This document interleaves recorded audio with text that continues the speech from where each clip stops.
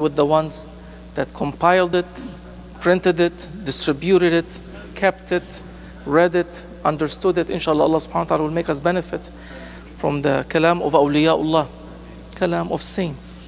ولقد كرمنا بني آدم وحملناهم في البر والبحر ورزقناهم من الطيبات.